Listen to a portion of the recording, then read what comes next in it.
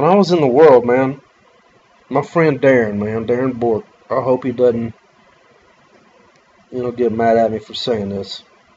Because it's not really bad, it's just the freaking truth. and, uh, anyways, Darren helped lead me to the Lord.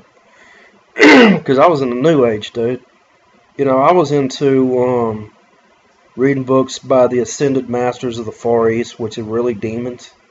You know, I was actually in contact with freaking demons, and I thought they were ascended masters, dude. I really did, and I would pray to them, and they'd answer my freaking prayers. Okay? They would. But they were really demons, and it, and it almost killed me. And uh, I was also into shamanism. You know, I was into uh, to sorcery, man, like uh, Carlos Castaneda and Don Juan and them freaking people. It almost killed me. It really did. So, um, anyways, me and a, a bunch of my friends, man, we we were club junkies, man. We would go to the freaking club every weekend, dude.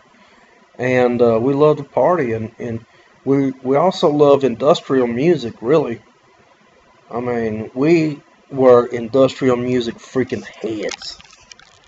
Okay, we listen to freaking Ministry, Nine Inch Nails, Stroke Kill Cult, uh, Lords of Acid, KMFDM, the most hardcore freaking industrial people you can freaking think of. I mean, that's the way we were. I mean, we just partied like that. and I was um I was in unbelief. I didn't know. and I remember we were at my friend Darren's house. And he had these ministry posters on his wall. And it showed Al Jourgensen and the rest of the band, man. and um, he it showed the picture of him, and all around it, it had like clocks and all this uh, stuff, and it had these three dice. It, it was six six six. And to be really honest, man, I really thought that I didn't really believe in the devil. I didn't. I was into those books, man. I thought it was um I thought I thought those dark spiritual powers were something else. I thought they were I thought ascended masters were one thing. I thought dark spiritual shadow creatures were another thing.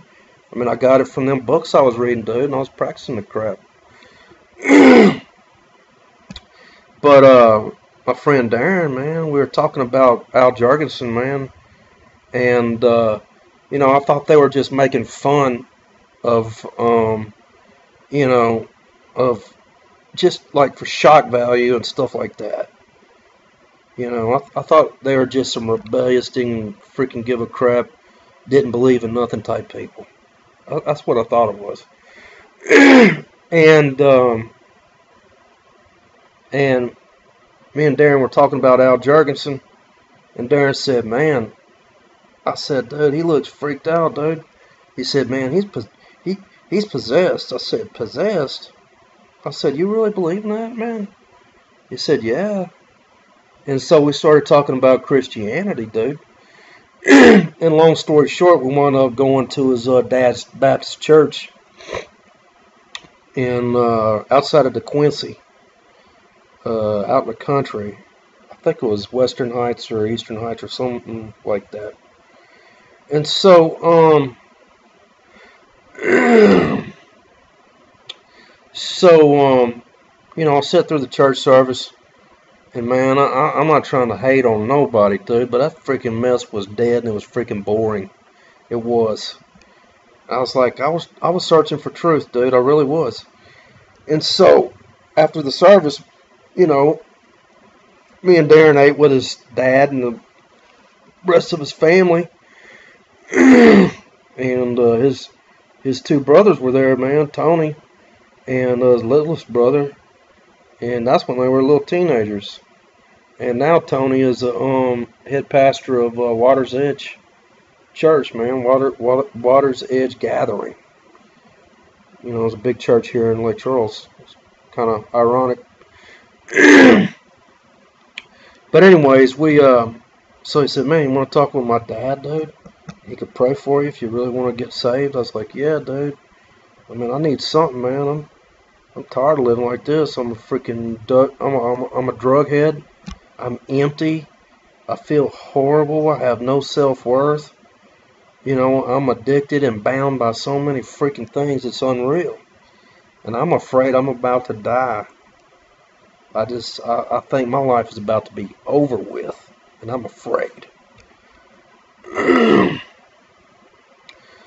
so, um, I went into the pastor's study with his dad and you know, I, I totally respect his dad too. I ain't saying nothing against his dad whatsoever as a human being. Good as gold. But when it came time to pray for salvation, I said the sinner's prayer and I didn't feel nothing. It was it was there was nothing there, dude, at all. When I left his his office, I was the same person I always was. You know, so I went to the bar, man, that weekend and got drunk and high out of my freaking head. You know, and, and, and can't even remember what all the freaking immoral crap I did. You know what I'm saying? And um, so I knew it wasn't it, man. And then I had a experience where I overdosed in Austin, Texas. And I remember, man, I was so messed up on drugs to where I actually got on top of a um, store uh, storage building uh, facility where they have a row of storage buildings. I was on the roof of that, dude, and I I was I was so high and paranoid, dude. I had freaking these voices telling me, dude, that the the world was about to end, dude, and I had to jump through a freaking time portal. That's how screwed up my freaking brain was. I, I thought I had to jump into a wormhole to escape destruction in this dimension.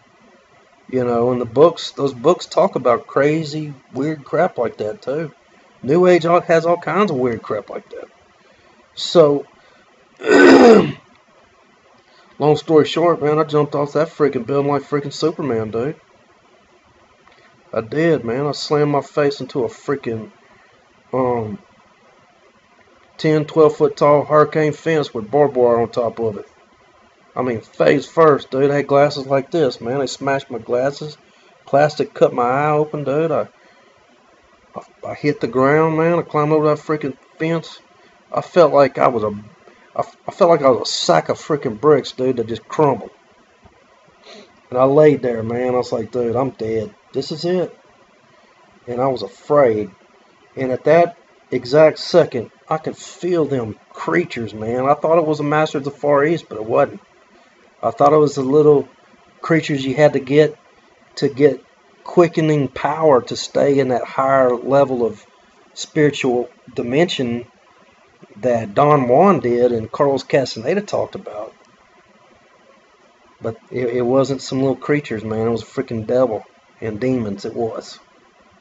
Lying, game playing, cruel, sadistic little freaking turds. Okay? And um, they um, they um, they were laughing at me. I mean, it was so strong that impression they were putting on me they were laughing at me, man. If I if I could see them, they would have been slapping their freaking knee, you know, laughing. Couldn't control it because they had killed me and they had deceived me and I was dead. But I thought I was dying. And, and, and they got me. They were so freaking happy and laughing. It was such a big prank, a big joke. I mean, they were rolling, laughing at me because I believed them, and I they thought I was dead. Really, I thought I was too, man. I had so much drugs in my system. Stay tuned.